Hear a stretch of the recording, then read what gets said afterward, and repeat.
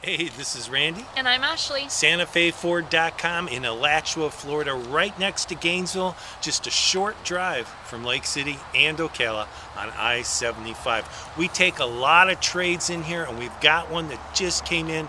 It's a Ford Focus. Stay tuned. Ashley has more details for you.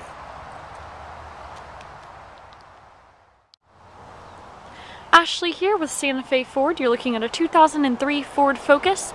Remember, you can check out all of our inventory online by visiting santafeford.com. You can also get a free Carfax and view more pictures of this Focus. This vehicle has tinted windows, alloy wheels, and keyless entry. Let's take a look at the inside. The inside is in pretty good condition. You have leather interior, glove box, AM FM radio, you also have a CD changer.